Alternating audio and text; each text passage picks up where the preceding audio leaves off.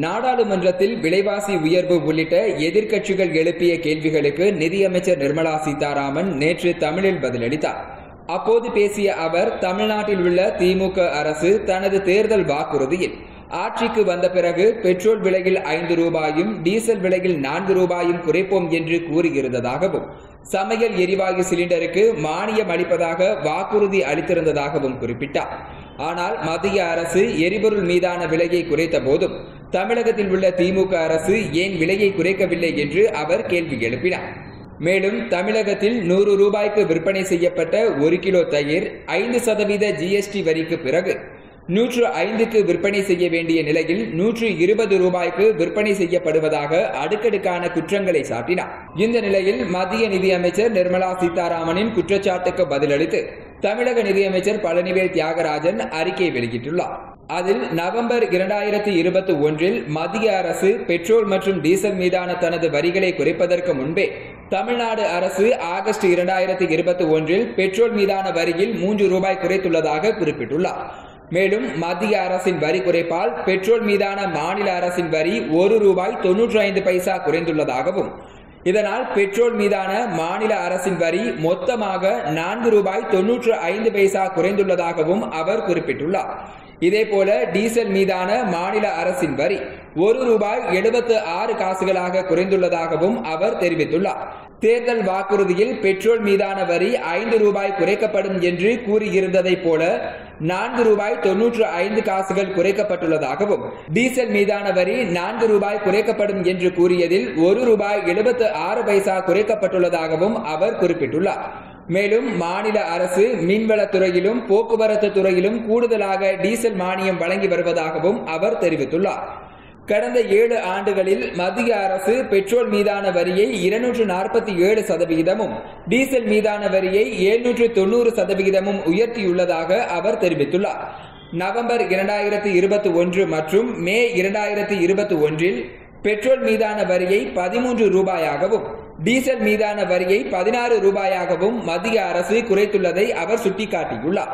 மத்திய அரசு தனது வரிகளை குறைத்துள்ள நிலையிலும் இரண்டாயிரத்து பதினான்காம் ஆண்டில் உள்ள வரிகளை ஒப்பிடும்போது தற்போதுள்ள மத்திய அரசின் வரிகள் பெட்ரோல் மீது லிட்டருக்கு நூற்று பத்து சதவிகிதமும் டீசல் மீது லிட்டருக்கு முன்னூற்று நாற்பத்தி இரண்டு சதவீதமும் அதிகமாக உள்ளதாக அவர் தெரிவித்துள்ளார். மத்திய அரசு தனது வரிகளை மேலும் குறைக்க வேண்டியுள்ளதாகவும் அவர் சுட்டிக்காட்டியுள்ளார். இரண்டாயிரத்து இருபத்தி ஓராம் ஆண்டு நவம்பர் மாதம் மத்திய அரசால் அறிவிக்கப்பட்ட வரி குறைப்பால் மாநில அரசுக்கு ஆண்டு ஒன்றிற்கு ஆயிரத்து ஐம்பது கோடி ரூபாய் வருவாய் இழப்பு ஏற்பட்டுள்ளதாகவும் அதேபோல மே இரண்டாயிரத்தி இருபத்தி இரண்டில் அறிவித்துள்ள வரி குறைப்பால் மாநில அரசிற்கு மேலும் எட்நூறு கோடி ரூபாய் வரி இழப்பு ஏற்படும் என்றும் அவர் தெரிவித்துள்ளார்.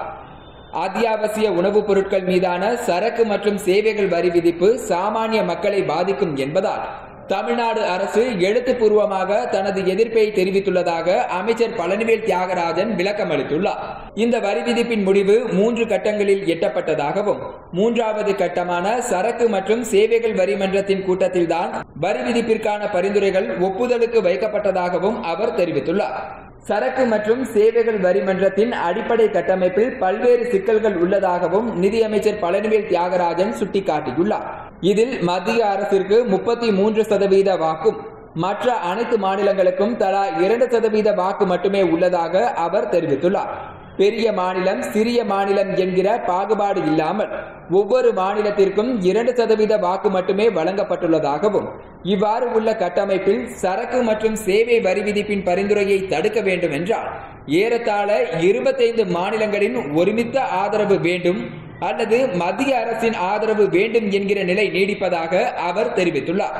மேலும் இந்த அறிக்கையில் உள்ள பரிந்துரைகள் அனைத்தையும் ஏற்றுக்கொள்ள வேண்டும் அல்லது அனைத்தையும் நிராகரிக்க வேண்டும் என்ற முடிவு சரக்கு மற்றும் சேவைகள் வரி மன்றத்தில் முன்வைக்கப்பட்டதாகவும் விவாதத்திற்கு பின்னர் அமைச்சர்கள் குழுவின் இடைக்கால அறிக்கையில் இருந்த ஐம்பத்தி ஆறு பரிந்துரைகளும் ஏற்றுக்கொள்ளப்பட்டதாக தெரிவித்துள்ளார். வரி விதிப்பு குறித்து மூன்று கட்டங்களில் இவ்வாறு முடிவுகள் எடுக்கப்பட்டுள்ளதை மத்திய நிதியமைச்சரே சுட்டிக்காட்டியுள்ளதை அமைச்சர் பழனிவேல் தியாகராஜன் குறிப்பிட்டுள்ளார். தேசிய அளவில் மக்கள் தொகையில் தமிழ்நாட்டின் பங்கு ஆறு புள்ளி இரண்டு ஒன்று சதவீதமாகவும் மொத்த உற்பத்தி மதிப்பில் ஒன்பது புள்ளி ஒன்று ஆறு சதவீதமாகவும் இருப்பதை மத்திய வரிகளில் இருந்து தமிழ்நாட்டுக்கு பகிர்ந்தளிக்கப்படுவது வெறும் நான்கு புள்ளி பூஜ்ஜியம் ஏழு ஒன்பது சதவீதம் மட்டுமே என்று தெரிவித்துள்ளார்.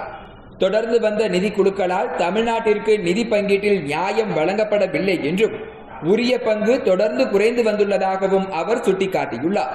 சரக்கு மற்றும் சேவை வரிகள் அறிமுகப்படுத்தப்பட்ட பின் மாநிலங்களுக்கு வரி விதிப்பில் அதிகாரம் பெருமளவில் குறைந்துள்ளது என்றும் மாநிலங்கள் தங்களது வருவாயை பெருக்குவதற்கு போதிய வாய்ப்புகள் இல்லை என்றும் எனவே சாமானிய மக்களுக்கு உதவுவதற்கு மத்திய அரசுக்குத்தான் வாய்ப்புகளும் வசதிகளும் உள்ளதாகவும் அவர் சுட்டிக்காட்டியுள்ளார்.